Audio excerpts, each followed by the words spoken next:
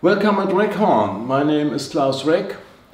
Our subwoofer amplifier A409 is the newest within the A400 line where we have started around 12 years ago and every model like 401, 402, etc was improved regarding the controls, regarding some inner parts and to be a really good subwoofer amplifier, not just a normal amplifier. And to show you the most important point, I had opened the back side and what you see here is a very big transformer and also what, what you see here is all the power supply section because the power from the AC which cannot reach to the transistor will not make you a clear, good sound. The power supply is the most important point of a subwoofer amplifier. And if you see other so-called subwoofer amplifier, you see a small transformer and you don't see this big six pieces of 10,000 microfarad capacitors. Whatever is not enough to go through here will be added here at a bass impulse, which is just strong and in a moment, in a sudden, so it will stabilize the voltage of the power supply to flash in this extra charge. So these capacitors charging and relaxing its power into the concept. This is expensive, this is expensive, and that's the reason you see that always small and you see that small. These small parts here are not really expensive.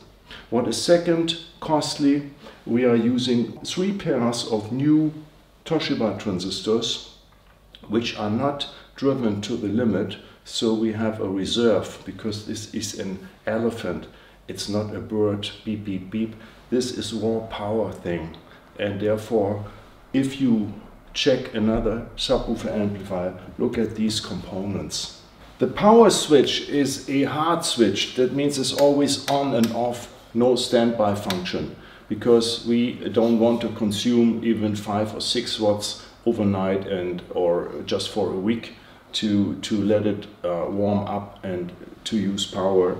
Uh, there are two LEDs. One is protect. That means there's a shortcut or uh, over power or any other problem with the amp, the clipping shows you that you're going to the end of what the amplifier can do. If it gets a little bit blink blink, uh, it's still okay with the bass impulse, but if it's on um, steadily, you have to reduce. The uh, level here, then comes a lot of control. We have a subwoofer high cut, that means you are setting that frequency that cuts off all the unwanted higher frequency. Example in the range of 40 50 hertz that you only send those frequency to your speakers which you want. Otherwise if you go over 100 hertz you will realize from your listening the subwoofer is there is there. But uh, if you have a good subwoofer is big enough and you have satellite speakers which are capable down to 50, 60 hertz, go lower and your subwoofer sound better, you have less room resonances. This cuts off high cut. Then we are having equalizers. You can boost some frequencies. If you have a smaller subwoofer and you're not happy with the low bass sound pressure, you can boost it and you also can boost at that frequency that you want. So with these two settings is the boost level, how strong you boost, and the boost frequency means where are you boosting. But be careful, boosting means you're pushing much more power into your little subwoofer and that's that's the problem. Big subwoofer don't need a boost, small subwoofers don't overboost, don't destroy it. The other two knobs are just doing the opposite.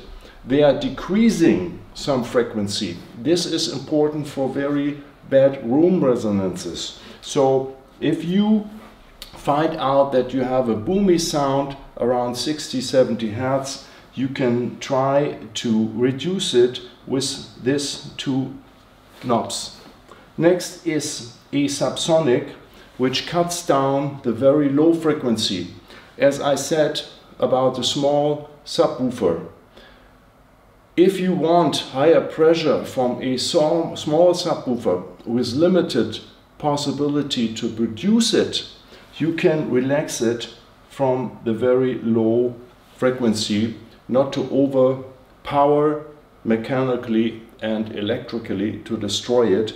But even you have a big subwoofer, this makes sense.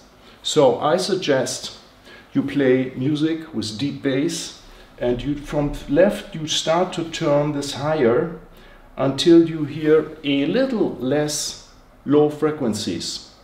Then go back 3 to 4 millimeters so that you don't lose bass frequencies which your subwoofer can produce as it lowers frequency. But in this case you relax the subwoofer from the electrical power which it cannot produce into sound and as well you're relaxing the amplifier from working in a range of frequency which you don't need. And this could be up to 30% or more which are now available for the range that you hear. So relax the amp relax the sub get more out of it there's a phase here, it's uh, steadily turning the phase from zero phase to up to 270 degrees. That must be tested by listening. So the phase mean is important for the frequency which comes from the subwoofer and the satellite as well. You cannot just cut so steep that you can say that's a sub, that's a satellite. They are overlapping. And if they're overlapping, and both speakers are not in phase, but a little bit like this or like this. This means they are out of phase, and this can help you to make them into phase. Otherwise, one is going up, one is going down. You have a hole in the frequency response, or they're making too much noise, then you have a mountain on the frequency response. It's difficult to listen. You need two person. One is sitting and listening, the other is turning here, and then find out what gives you the best sound. On the back side, you see a output. This is the input. This is the output. This output can go to another amp for the higher frequency. And with this satellite low cut, you can cut the low frequency from the satellite speaker. Uh, just the opposite from the high cut. This cuts the high, this cuts the low. And then the signal is going to the satellite speaker, to the amplifier of course. And then the satellite get relaxed from the heavy low frequencies and will sound better and you is more capable, capable to produce higher sound pressure. This is the alternate input if you don't have an RCA uh, input from your preamp, let's say you have a full range, and you are not having any possibility to connect here, you can use your speaker cables. Just thin, parallel to your speakers, going left and right, so you're sending the signal from your main amp into this one through the speaker cable. And then you have the same effect as here. Of course, if you have RCA outputs, this would be better because the quality is a little bit better. However, for subwoofer frequency, it doesn't matter much. We have automatic fuse just in case something happened, very unlikely. And another important thing is this switch here. Normally it's connected to ground. In this case, the ground is connected to your house ground. But if your house ground is sensitive to some bad noise from other units connected to the house, then it could happen that there's bad noise coming from this source and here you can switch to lift then this is disconnected and there's silence.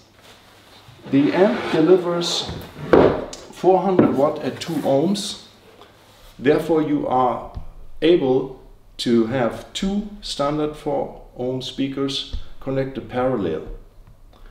And of course, on 4 ohms, the power is smaller. 2 ohm capable means this is the highest power available on 2 ohms.